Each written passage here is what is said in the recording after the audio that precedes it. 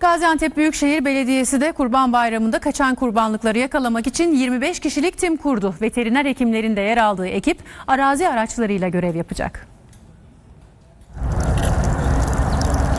Koşuyor, şınav çekiyor, atış talimi yapıyorlar. Bütün bu hazırlıklar Kurban Bayramı'nda kaçan büyükbaş hayvanları yakalamak için.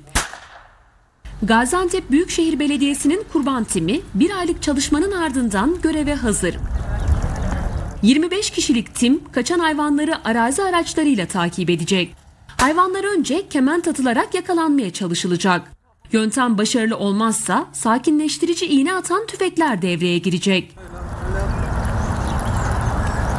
Ee, geçen yıl yaklaşık bir 280 tane hayvanın kaçan hayvanları yakaladık ve sahiplerine teslim ettik. Bu yılda yine 153 ihbar hattımıza geldiği zaman değerlendirip ekibimiz hızlı bir şekilde giderek uyuşturucu tüfeklerle veya önce kementle yakalamaya çalışacak.